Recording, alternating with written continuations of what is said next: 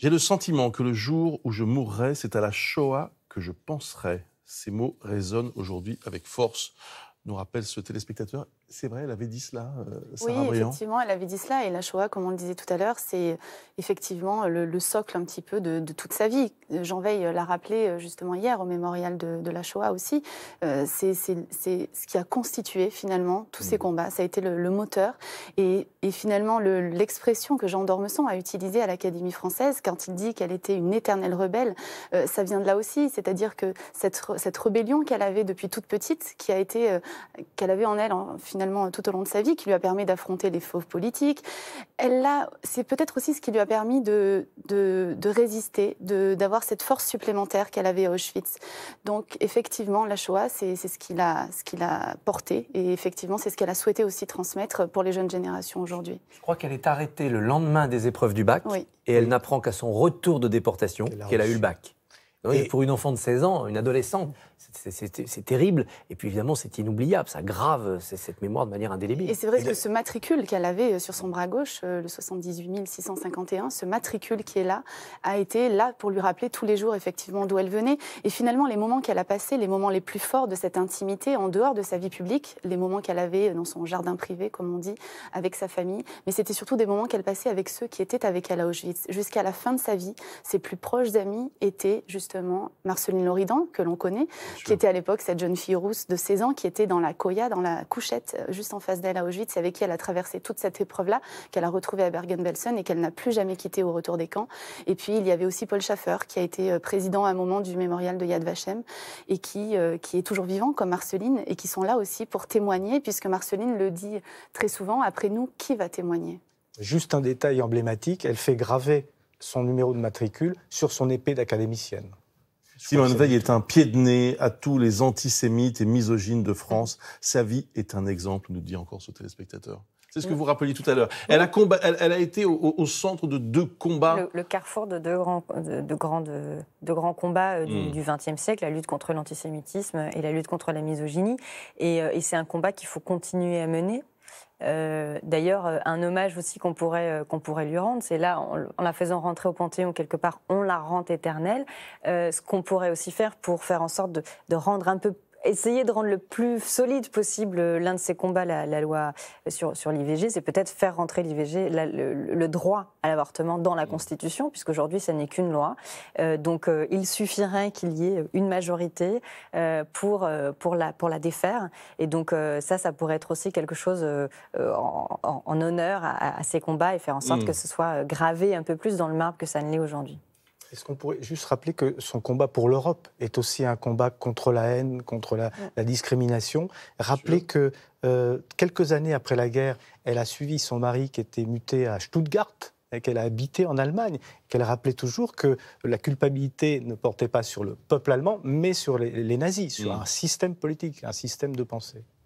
Aux grandes femmes, la patrie reconnaissante nous écrit simplement ce téléspectateur. Il faudrait changer quelque chose. Euh, c'est compliqué de. C'est compliqué parce que qu'est-ce qu'on peut mettre? Alors aux grands hommes, on comprend bien que c'est les hommes avec un grand H, c'est l'être humain, mais enfin quand ça a été écrit, c'était les hommes, les mâles, ça c'est sûr. Alors est-ce qu'il faut remplacer par aux grandes figures la patrie reconnaissante? Peut-être, ça sonne un peu moins bien. Est-ce qu'on doit mettre au grand français.s.e.s et faire de l'écriture inclusive au fronton du Panthéon? Je ne suis pas sûr que ça soit une bonne idée. en tout cas, quelle que soit l'inscription, il faut toujours rappeler que parmi ces grands hommes, les plus grands, c'est souvent des femmes. Oui, je ne sais pas si on est plus grande, mais, euh, mais on va garder quand même le, compliment, ça fait plaisir. Euh, en tout cas, euh, ce, qui est, ce qui est sûr, c'est que ce n'est pas qu'un qu'un terme, ce n'est pas qu'un langage, c'est aussi une réalité. on a du mal encore aujourd'hui à reconnaître les talents, les mérites des femmes, que ce soit dans les héroïsmes, mais que ce soit aussi dans tous les jours. Regardez autour de vous les talents et les mérites de vos collègues, les talents et les mérites voilà, de, de, femmes du quotidien aussi. On a du mal, à, on a du mal parfois à à reconnaître ces talents-là et à les valoriser à leur juste, à leur juste valeur, à leur juste salaire. Euh, donc euh, l'égalité dans la reconnaissance, je pense que c'est du haut du Panthéon jusqu'en bas qu'il faut qu'on la travaille. Et pour la petite anecdote, Antoine Veil qui entre au Panthéon s'amusait beaucoup à dire quand, on l'appelait Monsieur Simone Veil, ça, ça le faisait beaucoup rire. J'ai l'impression que Simone Veil a beaucoup pardonné aux hommes leur misogynie, aux Allemands la Shoah, aux Français leur compromission dans la guerre. Vous êtes d'accord avec ça? Est-ce qu'elle a pardonné? On parlait tout à l'heure de ce voyage en Allemagne. C'est vrai qu'en 1950, quand elle part en Allemagne, ça a étonné beaucoup de ses proches, et notamment ceux qui avaient vécu l'épreuve de la déportation avec elle.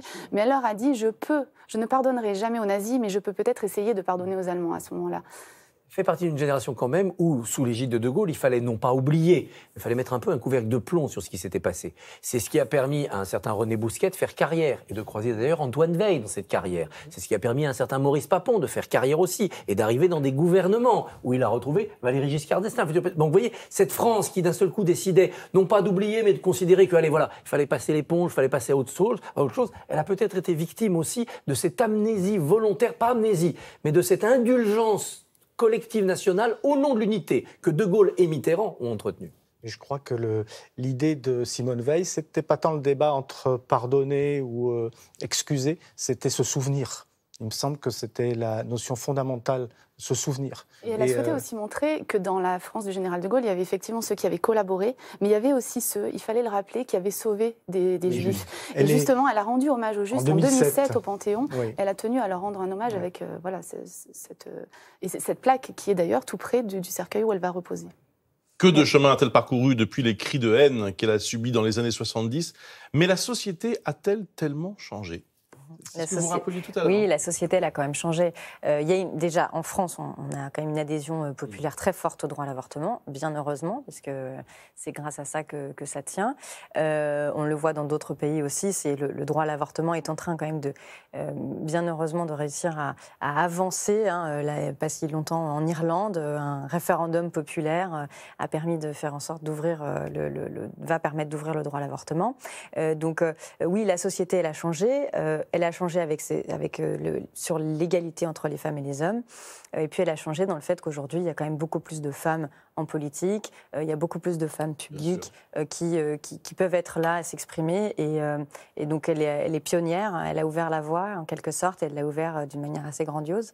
Au passage, d'ailleurs, en politique, elle avait signé en 1996, si je ne m'abuse, avec Yvette Roudy, un manifeste pour demander la parité politique. et ça a conduit voilà, dans l'Express. Simone Veil est-elle considérée comme une vraie féministe par les féministes d'aujourd'hui? Vous nous avez donné votre sentiment euh, tout à l'heure. Sarah Briand, qu'est-ce que, Qu'est-ce qu'elle dit sur elle refusait le terme de féministe, effectivement, et comme on le disait tout à l'heure, mais c'est vrai que dans tout son parcours, il y a quand même les prémices du féminisme, ou en tout cas, il y a des, il y a des petits signes. Mais ce qui l'intéressait, effectivement, c'était d'agir pour les femmes, pour leurs droits. C'est ce qu'elle a fait en tant que magistrate quand elle visitait des prisons. Euh, c'est vrai qu'elle a parcouru la France, on, l'a oublié, mais pour faire des rapports, aller voir des femmes en prison, euh, faire en sorte que leurs conditions d'hygiène s'améliorent. Elle a, elle a aussi euh, fait en sorte qu'elles aient accès à la culture, à des bibliothèques, et ça, ça reste encore aujourd'hui. Donc c'est vrai qu'elle n'était pas féministe féministe, mais, euh, mais euh, les femmes sont, sont, importantes, comme on l'a rappelé tout à l'heure, et la figure de sa mère a été quand même un moteur extrêmement fort Peut-être aussi une question de survie politique. À l'époque, quand on se disait féministe, euh, je pense qu'on était grillés. Quoi. Donc, alors, heureusement, aujourd'hui, c'est un combat, et grâce à cette panthéonisation aussi, c'est un combat qui est en train d'être reconnu comme l'un des combats les plus importants qu'il faut mener aujourd'hui. Sa panthéonisation, c'est, moi je la vois comme ça aussi, comme une manière de dire le féminisme, même si elle ne se revendiquait pas, le fait de se battre pour les femmes et pour leurs droits, c'est euh, un des grands combats du XXe et du XXIe siècle. C'est un combat humaniste euh, et, je vous encourage à le mener, évidemment. Quelles autres femmes auraient leur place au Panthéon? Alors, euh, Ce téléspectateur nous donne quatre propositions. Simone de Beauvoir, Joséphine Baker, Edith Piaf, Louise Michel, tout cas, euh, Simone de Beauvoir, oui, c'est ça. Euh, Simone de Beauvoir, parce qu'elle a apporté intellectuellement au combat des femmes. Évidemment, euh, c'est quelqu'un quelqu'un qui pourrait s'imposer, mais on a parlé de de Gouges, de Georges Sand, d'Hubertine Qui est la première suffragette, qui, grâce à elle, on a le droit de vote oui, en mais France. peut-être qu'il y a moins... de Gouges avec les droits de la femme et de la citoyenne. influé sur, sur son époque. Que, Moi, j'ajouterais bien Sarah Bernard. Sarah Bernard. Ah, Sarah Bernard. Pour la culture, pour le combat féministe, pour le combat contre l'antisémitisme, grande figure. Merci beaucoup à tous les quatre. Merci d'avoir participé à cette émission. Merci aussi à l'équipe qui a préparé ce C'est dans l'air. Dans un instant, à Libadou pour Célébdo. Ce soir, la rediff est à 23h15. Très bonne soirée sur France 5.